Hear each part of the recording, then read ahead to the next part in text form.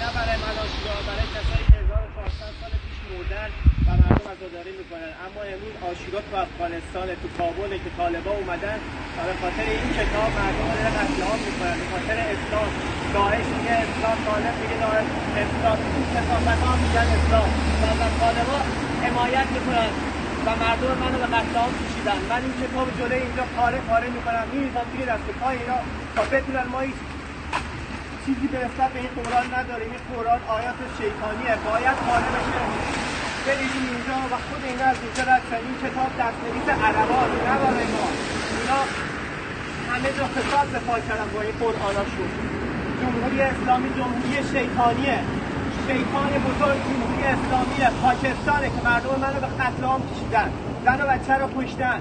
برای زینب و حسین و علی عزاداری می‌کنن که 1400 سال پیش مرده. ولی برای مردم من هیچ عزاداری نمی‌کنن چون خودشون اونان. ریشاشون رو نگاه کنید همشون مثل همین آخوندهای کسافتن این قرآن ها باید ریخته بشه اینجا. و زیر پاشون باشن که از روشون رد بشن. تا بفهمن اینا هیچی نیست جز دستنویس عرب های کسافت همینا هستن که دنیا رو به کسافت کشیدن. همه جای دنیا به خاطر اسلام جنگه. خاک تو سرتون کنم مرد مرد جمهوری اسلامی. مرد مرد پاکستان. مرد مرد طالبان داعش کسافت ها امروز آشوراه آشورا برای شماست بدبخت ها خاک تو سرتون کنم بیا در روش رد بیاد. خاک تو سرتون کنم این قرآن. خاک تو سرتون با این قرآن مردم کسافت. تروریست اینا اینا تروریستن.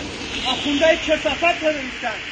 آخونده خودشون تروریستن که به مردم خودشون رحم نمی‌کنن حالا دست گذاشتن رو مردم افغانستان سوریه. همه رو آواره کردن این کسافت ها خاک تو سرتون کنم آخونده عوضی.